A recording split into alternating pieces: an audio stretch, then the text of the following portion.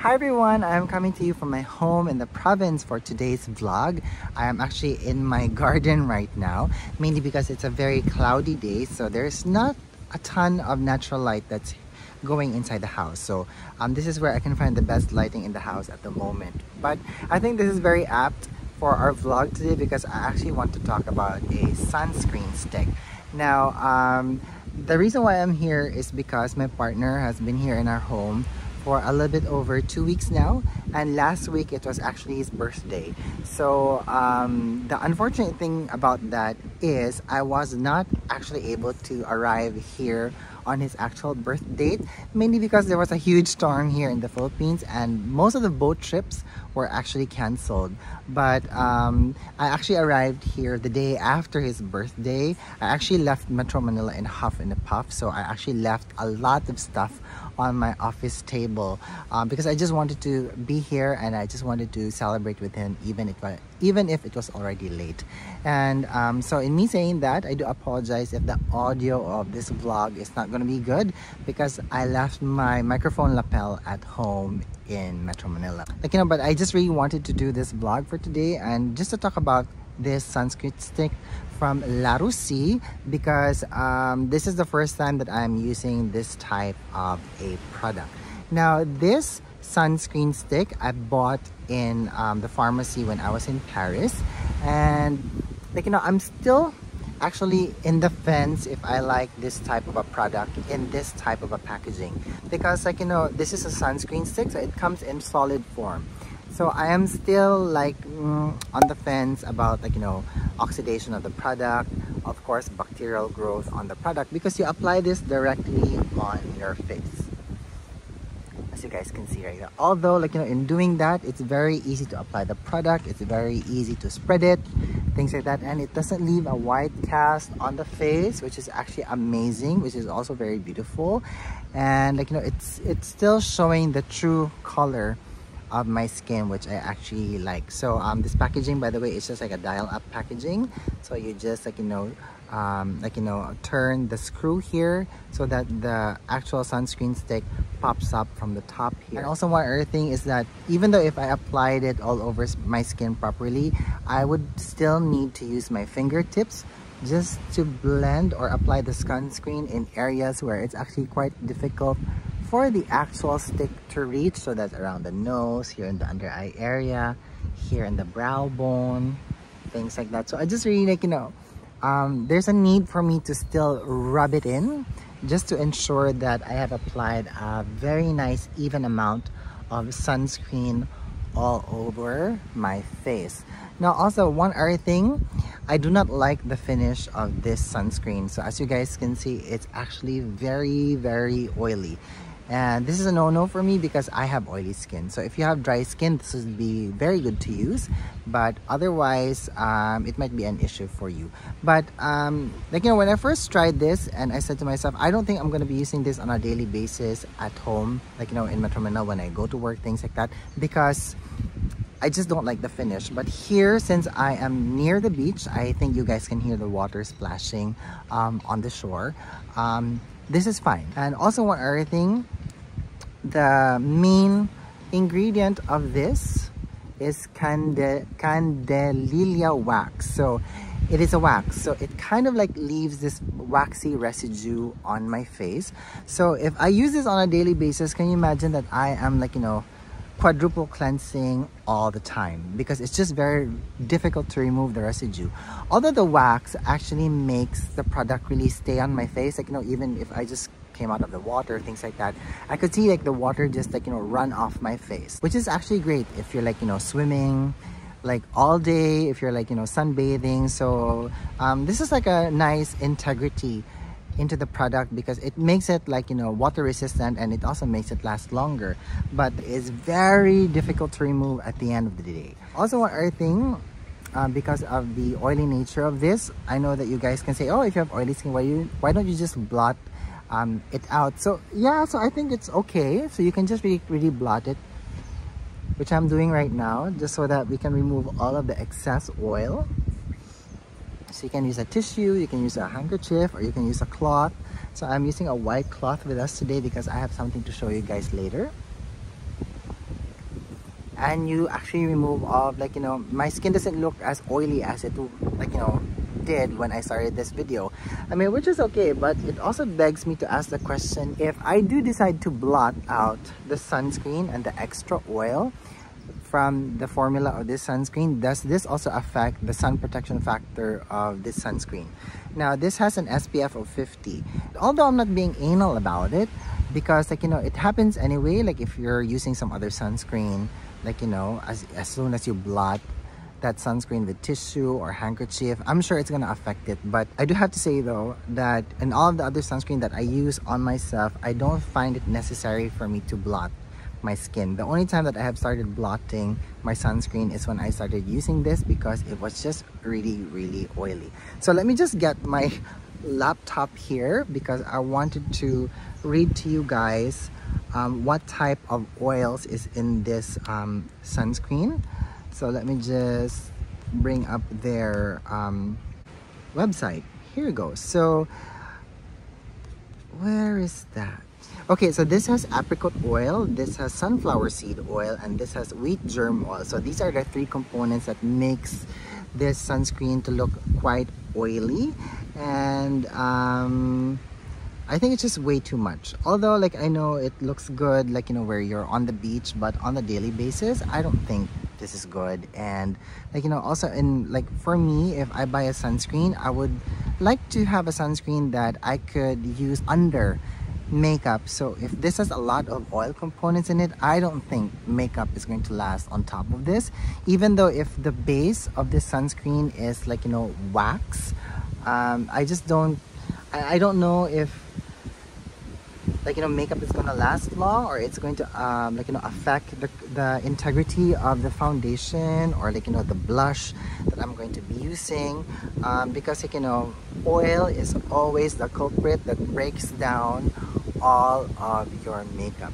But if there's anything that I love about all of these like you know oil components in this sunscreen is that I love using this all over my lips because like you know this sunscreen has a water resistant formula. It really lasts a long time.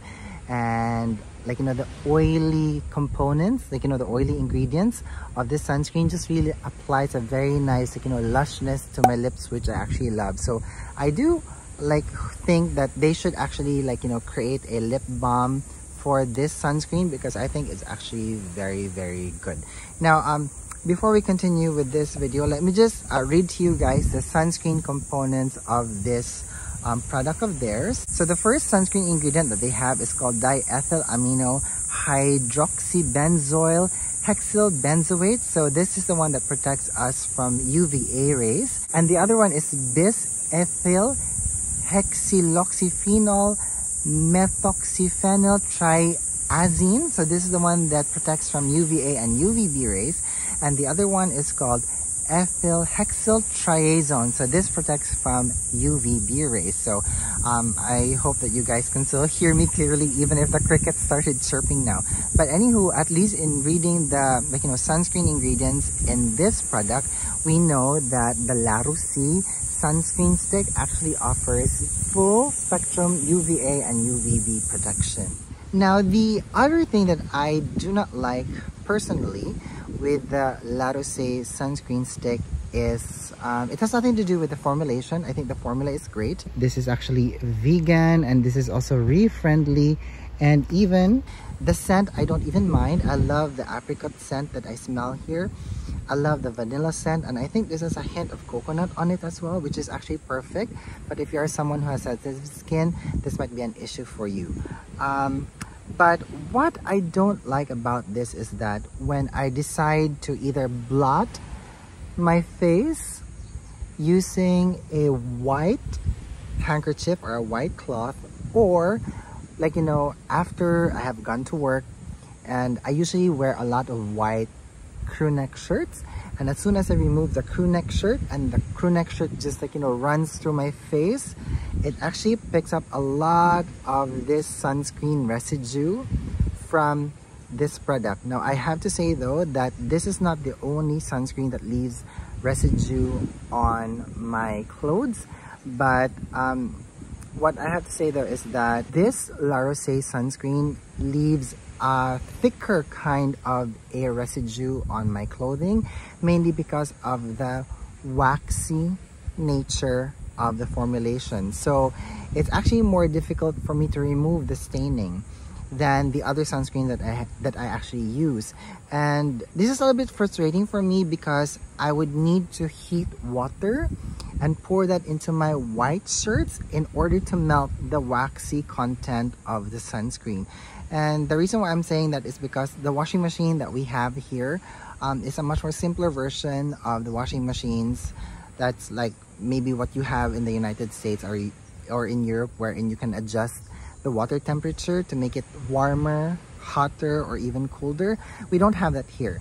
So this is just another addition into my laundry routine, which I find so frustrating. So I really don't like that. And I also find it that sometimes if I wear a very thick layer of this on my face and I forget to wash my face first before I remove my shirt. So I have a very thick layer of wax residue on the cloth and I would need to use like you know a brush just to brush it off including like you know of course with some hot water just to melt it off because what I have noticed if I just use bleach on top of it um, it doesn't really remove the residue because the wax is still there so I so if you're someone who wears a lot a lot of this you know waxy deodorants you would see that the pits of your shirts have staining.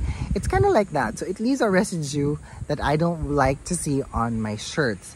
And um, although like, you know, using um, hot water just to melt it will be useful. Um, I really don't want to do that a lot with my clothes because it, it's just going to ruin my clothes. It's just going to like, you know, a shorten its like you know longevity of me using it so I really don't like that as you guys can see here this is a white cloth and I have been blotting this and using this all over my face right now and as you guys can see there's already like you know some residue here and if you get a bleach and then if you decide to bleach your white shirt just to remove all of like you know the sunscreen residue you would see that it has turned pink.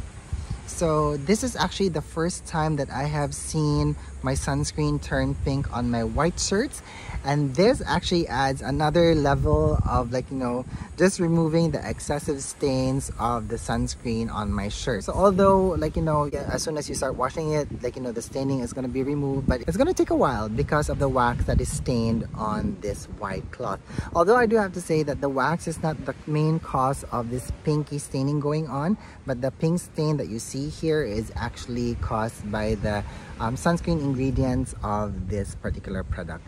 So of course, um, if you are someone who loves using this particular product or sunscreen sticks in particular, just make sure that you're not wearing white when you are using them because it's to be a, a little bit difficult to get the stains out. And I'm someone who's very obsessive about doing laundry because I'm the one who does the laundry here in the house.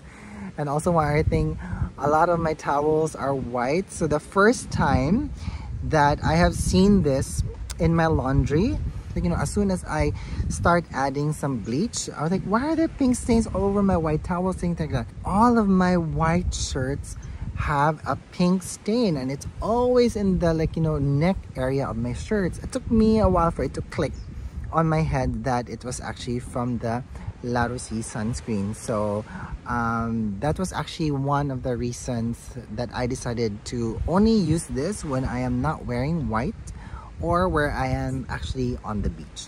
So um, that's why I decided to talk about this while I'm here because I think it's just fitting.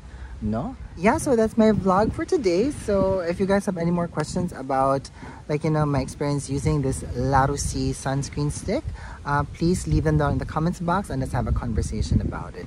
Now, I do have to say though that um, I am not really fully turned off from trying another type of like you know sunscreen stick.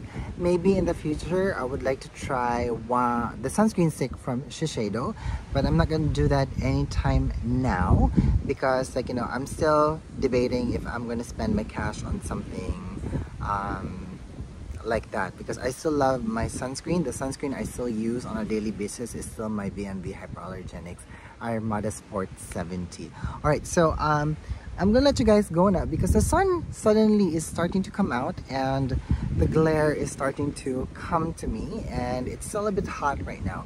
And I would really like to go and have a shower first so that I'm just gonna remove all of this residue from my face um, because I just really want to sleep. Like you know just to have a nap. And again um, my bed sheets are white so I don't want to stain them with any like you know residue from this sunscreen. All right so I'm gonna let you guys go now. Thank you so much for watching. Thank you so much for being here and I hope that you're having a good day wherever you are. Bye